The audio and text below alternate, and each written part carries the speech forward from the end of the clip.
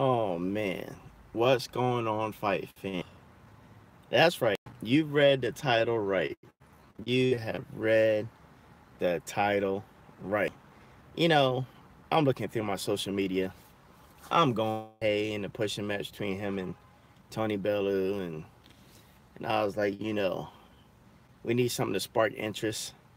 We need something to spark interest, man, in, in the Triple G versus Vaness Matthews and fight. And little and behold, did I see this thing from Vanes. This guy said, I have extra motivation to beat Triple G's butt. And I'm like, well, I wonder what the motivation is. And then Vanes comes out and says, My wife told me that Triple G is her favorite fighter besides me. So now I'm motivated to kick his butt. So I'm thinking to myself, did she really say besides me? Did she really say that? Rico, Lot said Don King made it slightly interesting with his ability to talk and sell fights like he did way back then. Yeah, man. Shout out to my man Rico. He always pops through on our chat. Uh, so now it got to kind of got me questioning, did she throw that besides me fight? So my thing is, is Von his wife really keeping it real with him?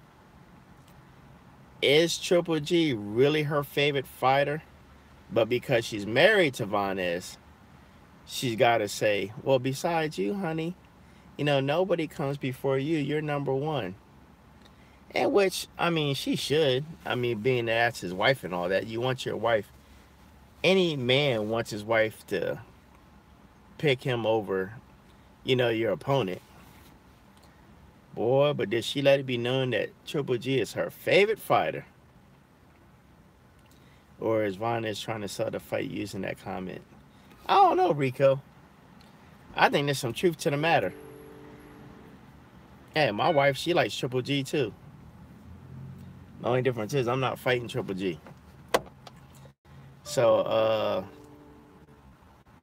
and that say, you know, they see their favorite TV stars, like they see a Denzel Washington or or Will Smith or something like that, and they compliment on how handsome they are.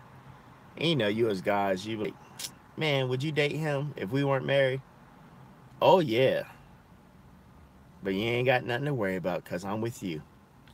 I'm like, well, yeah, that's the key. I'm with you. So, of course, you ain't thinking about going with him. But you already let me know if he comes along, there's a possibility you might let me go if he's interested in you. Yep. Yeah, Rico's laughing. You know, that's the truth, ain't it? That is the truth. Rico, I don't know if you married or not, but I ain't never had that conversation with your wife or girlfriend. You, you just could be dating somebody. Listen, you can be dating somebody, start that conversation. Now, you know the line if they dating. If they say, hey, do such and such look handsome on TV? Yeah, but you ain't got nothing to worry about because I'm with you. Uh, yeah, all you're basically telling me is if they really, if that celebrity really did come along and wanted to date you, your husband, your boyfriend, they'd be out the door. And I'm not even going to ask the guys if it's the other way around. If your favorite female actress or singer came around, y'all probably be out the door so quick and so fast. Then they get mad when you compliment Rihanna. Is that what happens to you, Rico? You be telling some man, Rihanna, she bad. Look at her. Why are you looking at her? Listen, Rico, can I tell you something? It's natural for a man to look at another female. Now, don't let women twist you up and get it all backwards. Women will look at men also.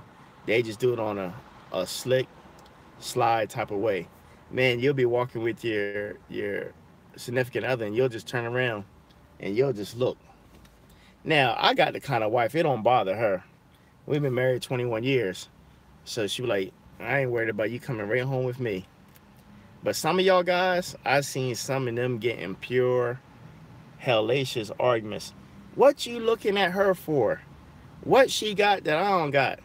I'm like, you don't need to be asking your man that because you just open up a whole new can of worms by doing that. But it's true the 80 20 rule. You got the 80% at home, but the 20% you see is that 20% you but you got the majority of everything you need at the house.